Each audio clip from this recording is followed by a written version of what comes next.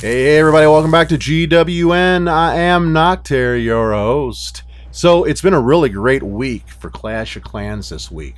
Darian held a big AMA or Ask Me Anything over on Reddit a few days back, and we got a little bit of news on the December update. The second season of Clan War Games just wrapped up, and Clan Games has just started. And there are some really amazing bonus pack offers in the shop for Black Friday.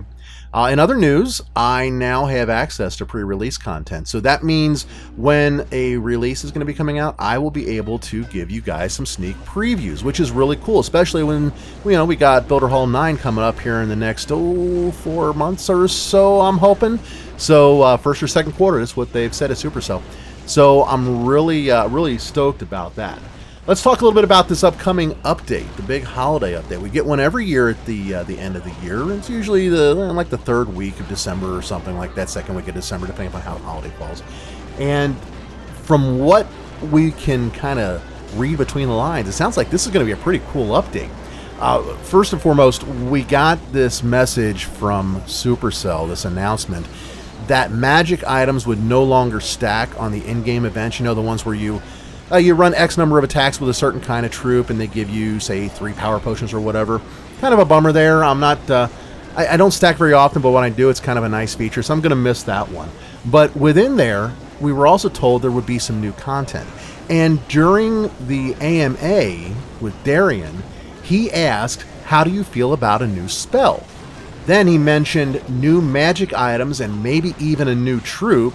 And he finally he wrapped up with, ground attacking and siege machines will get some new love. Now, that's some interesting stuff.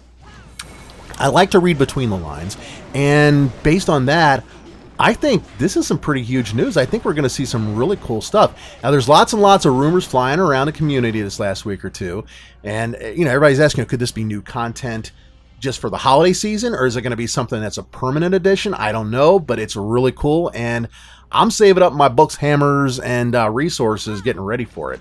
Uh, that's a good uh, segue into this whole Black Friday thing too. Black Friday deals: two million Dark Elixir, 15 books of Heroes, five books of everything, and three runes of Elixir. Uh, then, of course, they kind of step down from there. That's the top offer, and that's a, a 6x value, which sounds about right. If you can give up your Starbucks for a week, I'm telling you guys, that that is a really great deal. Talking more about resources, clan games just started up again, and there's not quite as many bonus challenges this time as usual, but challenges are centered around crushing enemy defenses. It's a 50,000 point six tier run with books in all three of the top tiers. And what's really cool about that, you've got a book of building on tier four, a book of fighting on tier five, and then tier six has a book of heroes. They're all in separate tiers, so you don't have to choose one. You can literally get all three of them to add into your uh, into your set. Second season of Clan War Leagues just wrapped up. My clans did pretty good. Uh, both Oz Builders and Divergent Void managed to hold on to their places in uh, Crystal 1 and Masters 2, respectively. Army of One bumped up one more level for the second time into uh, Gold 2. There's been a lot of controversy around these CWLs. A lot of people who don't really understand how it works or how it was seeded and, and how matches are built now. And I'm going to do a separate episode on that a little bit later. But guys, just the long made short, be patient with it. I mean, really, just give it some time. Things are going to work out. Hopefully, they've already started to get a little bit better if you're, you know, if you were originally seated a little bit high. But it's a really good time and it's a great chance to get some absolutely awesome rewards. I think, given another eh, maybe two or three seasons, everybody's really going to be going to be happy with what, what we have here with this. Uh, talking about what's coming uh, down the line there hasn't been a whole lot going on with our main topic here, the builder base. So I'm, I'm shifting gears here. We're going to spend uh, some more time on the home village and with a couple of other games. I've been busy in the background upgrading my games, reacquainting myself with the home village side. I've got a couple of fully maxed Town Hall 7s and 8s, uh, some near max Town Hall 9s with maxed offense all around. I've maxed several attacks on Town Hall 10 and Town Hall 12 as well. So we, have got a lot of home village content that's going to be coming down the pike until we, you know, start getting more of the builder hall stuff uh, here in the the March, April, May timeframe next year. Probably, you know, beginning of second quarter or sometime in second quarter. Also, we've got Boom Beach.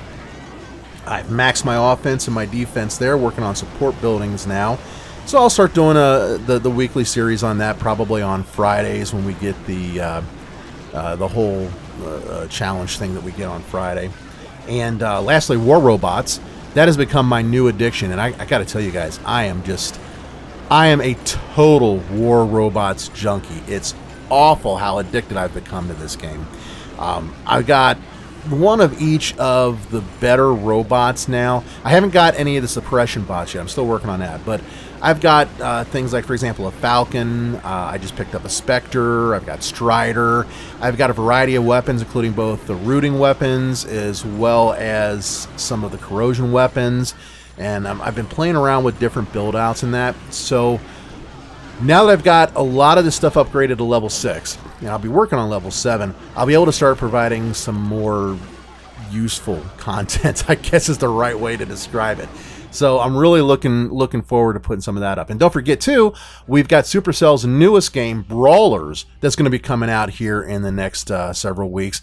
I went ahead and did the pre-register for that, and I'm looking forward to getting into that too. So, short video for today. Just thought I'd give you guys a quick update. We'll be doing a lot more starting next week now that we've gotten a bunch of these games kind of up to snuff. I appreciate you sticking around to the end of the video. You got comments or questions, drop them down below. Drop me an email. And on that note, I am Casper. I'm out of here. Y'all take care and keep on clashing. Bye-bye.